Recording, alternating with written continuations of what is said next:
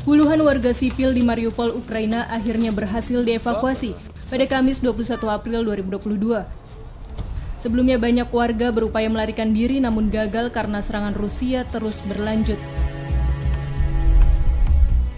Sejumlah bus yang membawa warga dari kota Mariupol, Ukraina tiba di kota Zaporizhia. Mereka menempuh perjalanan selama 24 jam. Warga mengaku terharu dan bersyukur bisa keluar dari Mariupol, kota yang sempat menjadi pertempuran paling intens. Там страшное творилось, там не расскажешь просто так. Там кацапы убивают людей ни за что.